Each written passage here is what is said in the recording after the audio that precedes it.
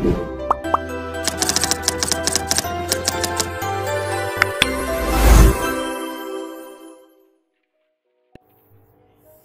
selamat pagi teman-teman. Apa kabar? Semoga dalam keadaan sehat selalu ya. Balik lagi dengan saya Bayu di channel Cuanisme.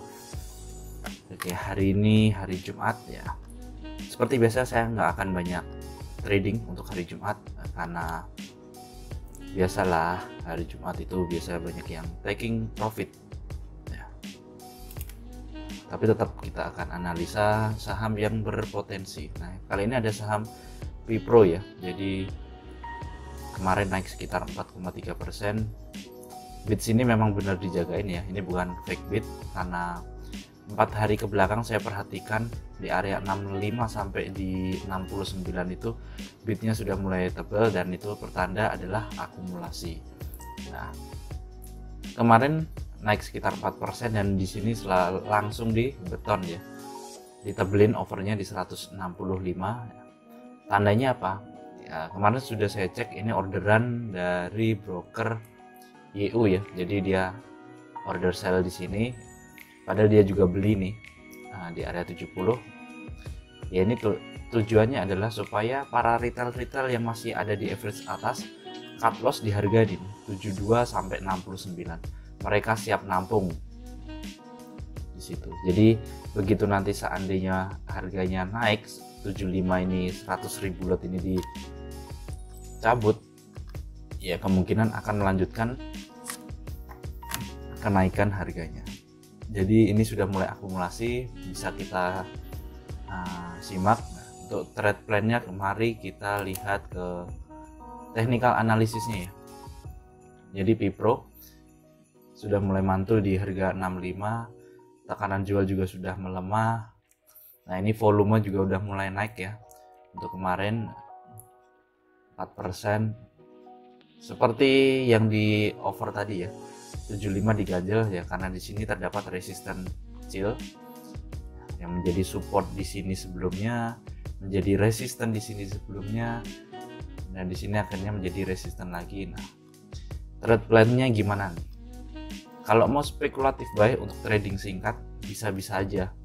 Masuk di harga 7273 berharap 75 jebol nah nanti bisa TP nah kalau untuk yang mulai uh, mau swing jauh. Ada dua skenario. Kita tunggu lagi di area 6968 jadi di di mana bid paling tebal. 6869 kita tunggu di situ. Barangkali dapat barangnya. Cut loss misal di bawah 65 ya.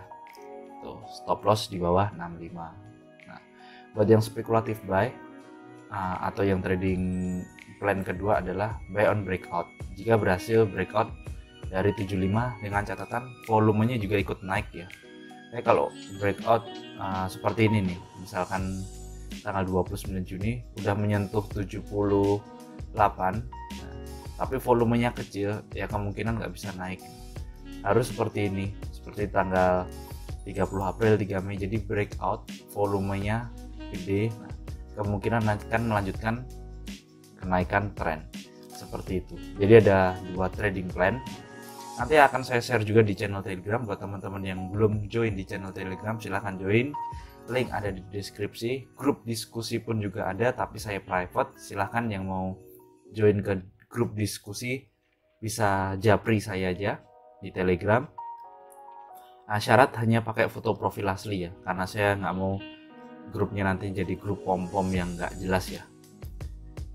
Nanti saya akan share uh, trading plannya dari Vipro ini. Jadi ada dua trading plan, spekulatif buy ya bisa langsung HK 7273. TP pertama ya di 7677 ya. Misalkan shadownya menyentuh di situ. apalagi kalau hari ini langsung ngegas. Yang yang kedua bisa buy on weakness di sekitar 6869 stop loss di bawah 65 atau buy on breakout. Jadi seperti ini nih. Ini kan udah breakout nih. Nah kita baru masuk di atas 75 seperti itu teman. Tar target profit ada di 85 untuk swing santainya ya.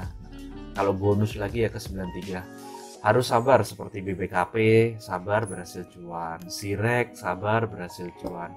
Jas sabar berhasil cuan seperti itu jadi uh, patuhi trading plan yang ada misal stop loss minus 3% minus 4% ya udah haki cari saham lain seperti itu nggak usah takut untuk stop loss oke teman-teman semoga hari ini trading kita lancar diberikan cuan yang lebar.